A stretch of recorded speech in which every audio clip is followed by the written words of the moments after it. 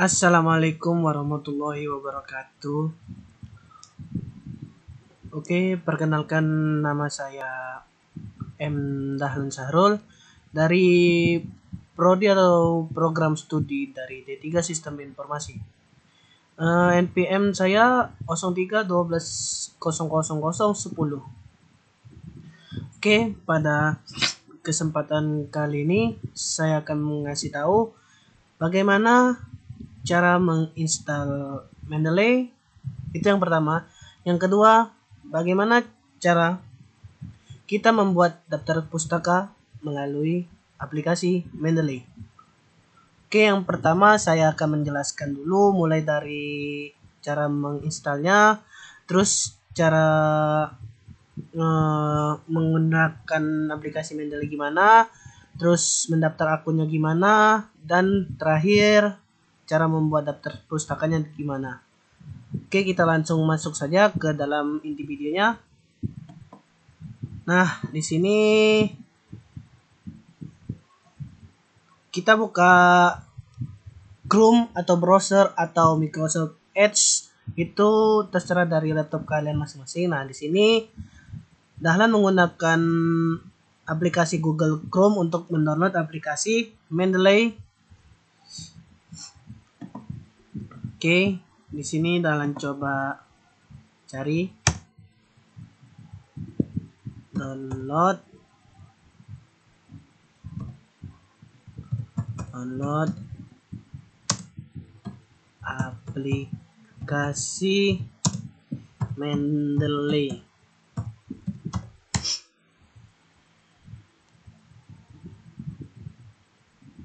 Oke, di sini sedang loading.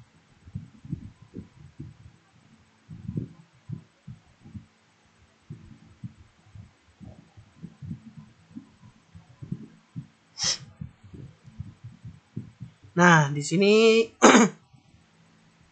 ada di link atas kali di www.mendeley.com.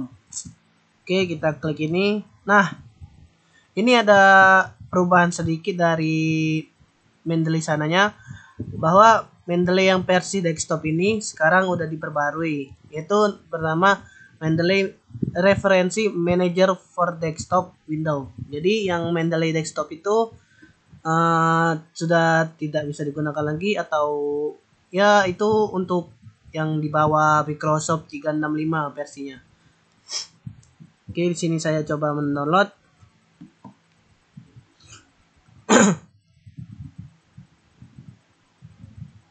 Oke, di sini saya klik dulu websitenya tadi. Di sini lagi loading. Nah, kita Indonesiakan saja. Nah, di sini kita terima semua cookie.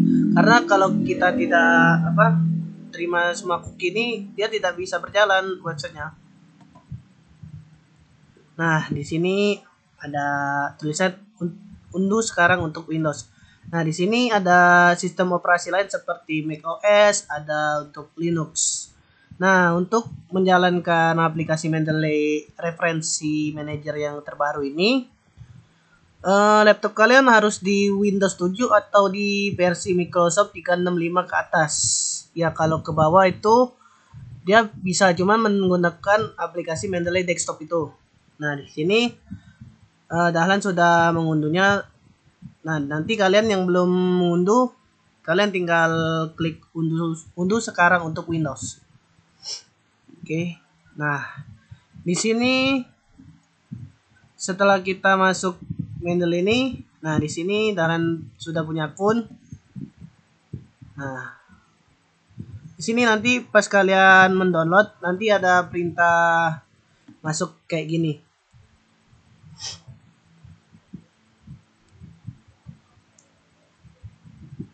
Nah, di sini nah semisalnya uh, di sini kalau nggak salah di sini uh,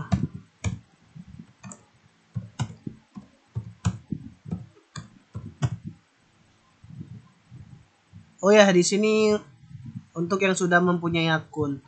Nah, bagi yang belum punya akun, klik di sini, buat akun atau create account. Nah, di sini nanti dimasukkannya dia masuk alamat email kita, serah emailnya apa. Usahakan kalau bisa uh, akun yang sudah terlogin di website Microsoft Windows-nya. Jadi di sini kan Microsoft yang Mendeley yang versi terbaru ini kan dia ada namanya um, mana referensi. Nah, di sini ada yang bernama Mendeley Set. Yang di mana Mendeley Set ini akan kalian unduh lagi untuk menghubungkan ke Microsoft Word-nya.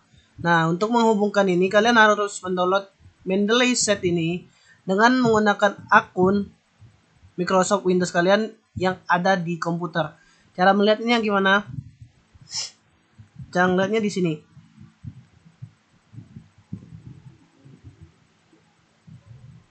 Nah, di sini kita klik setting.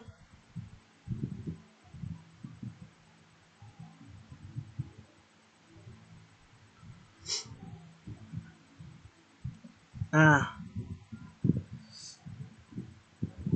Oh salah, bukan di akun bukan di apa? Bukan di akun manajer kita. Nah, di sini lihatnya. Maksudnya di Microsoft 365 bukan di Microsoft Windows-nya. Nah, di sini kalian lihat. Nah, di sinilah nanti uh, Mendeley setnya ini terhubung ke aplikasi Microsoft Word. Nah, kalian lihat aja akun kalian di sini. Nah, di sini namanya. Nah, di sini nanti kalian diminta untuk untuk memasukkan akun sebelum mendownload uh, aplikasi yang bernama Mendeley Cheater tadi atau Mendeley Set tadi. Nah, di sini akun saya sudah dahlan 30 gmail.com. Nah, di sini keburu keburu saya udah mendownload jadi ya saya tidak perlu lagi nih coba saya download lagi aja ukuran aplikasinya tidak berat cuman 53,9 MB atau sekitar 54 MB -an. Oke, di sini sedang mendownload. di sini sedang mendownload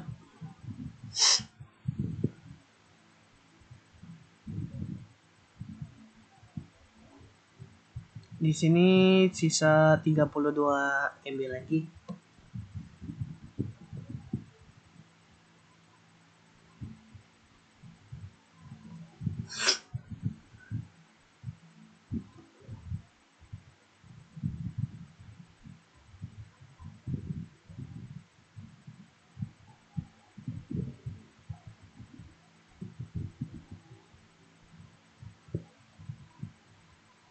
Nih.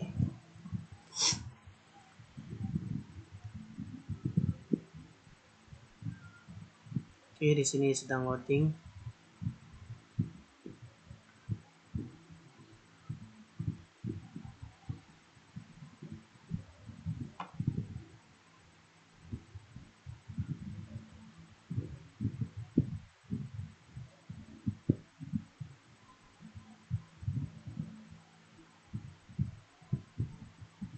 Nah, di sini udah selesai. Tinggal kita jalankan saja untuk menginstal aplikasinya. Oke, kita jalankan saja.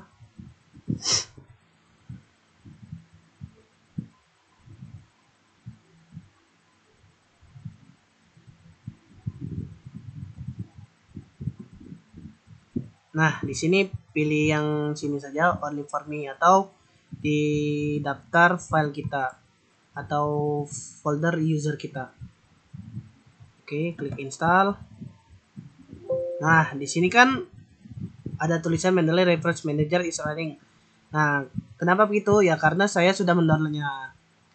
Nih, saya sudah mendownloadnya dan sudah saya masukkan referensi jurnalnya juga. Nah, nanti setelah kita batalkan dulu nah nanti setelah berhasil ini kalian akan di mas akan diperintahkan di sini saya coba sync out dulu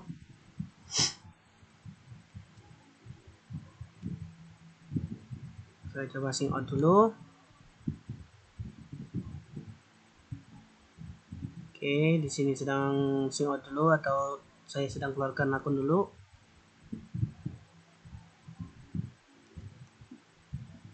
nah di sini kalau kalian belum punya akun tadi kalian boleh buat akun di sini. Nah, nanti sudah buat akun nanti ada nama kita, nama email, terus nama keluarga kita untuk verifikasinya, sahabat kita masih kecil, terus nomor HP itu untuk verifikasi semisal sewaktu-waktu kalian tidak kalian lupa dengan password kalian. Nah, di sini tinggal masuk saja. Di sini saya masukkan lagi.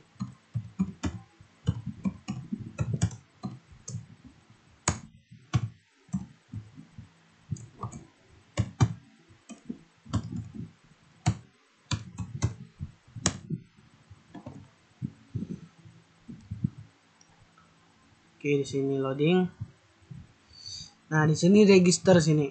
Nah, di sini kan ada nama given. Given ini nama panggilan kita. Terus family name nih, nama keluarga kita salah satu aja, apakah kakak kandung atau apa. Nah, di sini masukkan password. Ini cara registernya.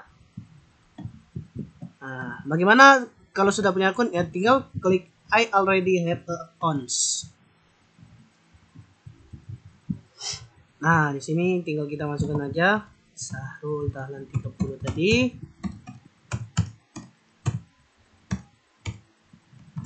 Tadi ada kesalahan dikit yang saya bilang mengkonfirmasi bila sewaktu-waktu ada kalian lupa password itu itu ada kesalahan sedikit ya karena saya lupa cara daftar akunnya tuh ada beberapa cara gitu. Oke, di sini kita continue aja.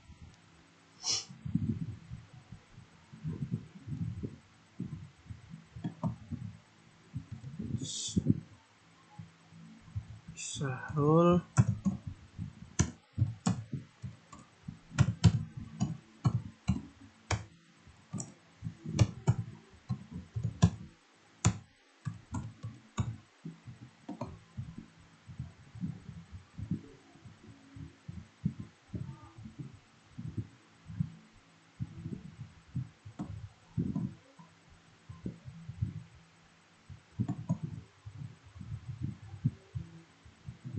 sebentar. Sebentar apa namanya tadi ini? Sebentar namanya apa ini tadi? Sahel jalan 30 gmail. Oh ya lupa lupa lupa. Kabar gmail.com lupa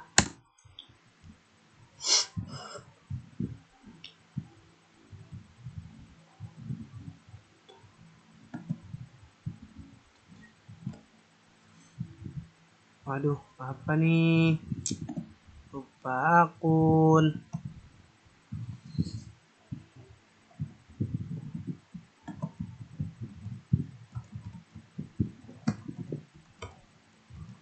Oke, sini saya coba membuat akun baru saja.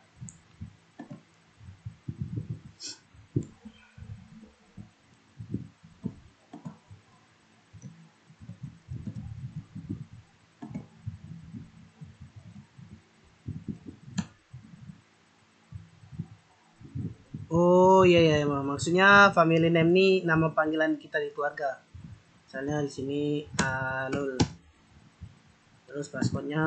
Nah di sini passwordnya nih minimum minimal 8 karakter yaitu yang terdiri dari satu angka, satu huruf kecil dan satu misalnya tanda kurung, tanda underscore, tanda at, pokoknya tanda kombinasi gitu biar kuat gitu. Nah di sini sebagai contoh aja lah. Dahlan buat. Dahlan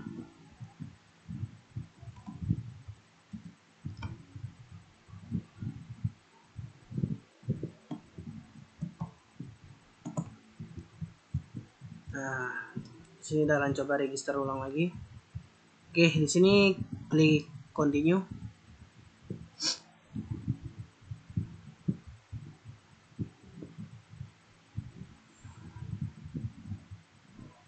Sini sedang loading.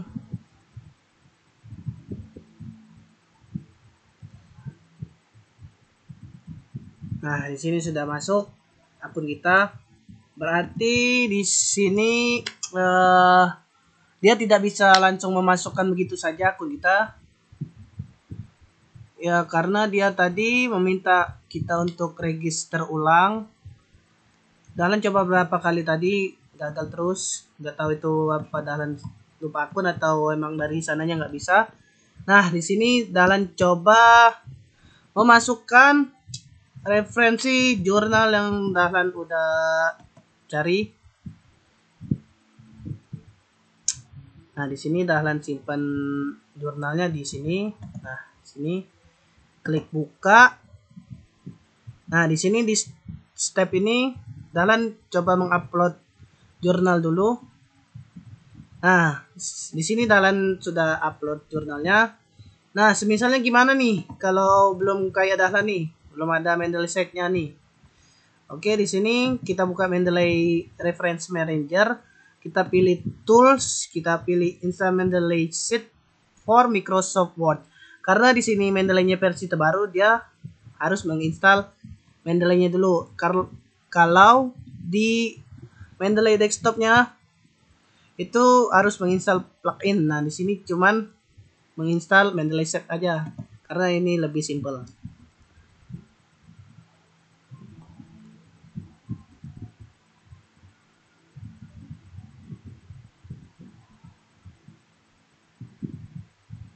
Oke, sini downloading.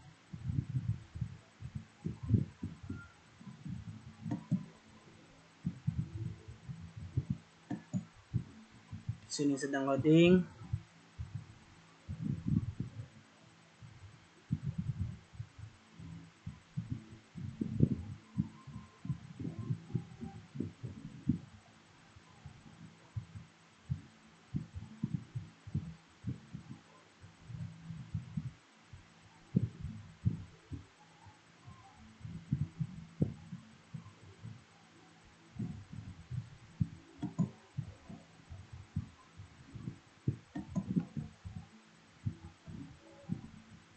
Nah, di sini kalian bisa klik dapatkan sekarang. Nah, di sini kalian masukin aja yang akun Microsoft Word kalian tadi. Nah, di sini misalnya dalam 30. Dalam masukin. Nah, tapi di sini dalam sudah ada jadi tidak perlu lagi menginstal. Nah, di sini coba masuk dulu. Kita akan coba praktekkan apakah bisa atau tidak. Nah, tidak bisa berarti. Berarti ini sudah bisa. Sudah dalam install. Nah, kalau tanda installnya caranya gini. Uh, mana ini? Hmm. Nah, di sini download and set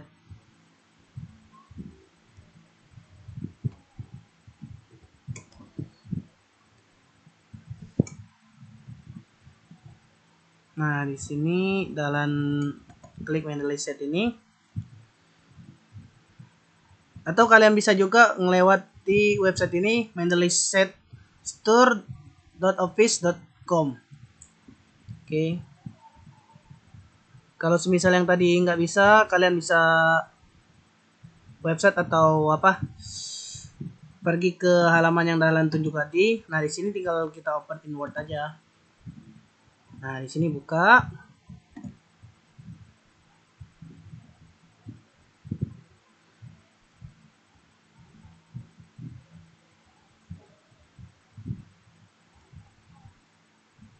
Oh ya, Dahlan mau kasih tahu satu nih tentang Mendeley yang versi terbaru ini yaitu Mendeley Reference Manager yaitu di mana kita tidak perlu lagi memasukkan daftar pustaka secara manual. Akan tetapi, Mendeley Page baru ini akan membuat kita semakin simpel. Jadi kita tinggal memasukkan saja nih misalnya udah ketemu nih apa uh, Mendeley-nya nih lewat Google Scholar atau Google Journal gitu. Nah, tinggal kalian masukin saja. Nah, tinggal kalian masukkan saja uh, yang folder jurnal tadi yang kalian download lewat Google Scholar tadi.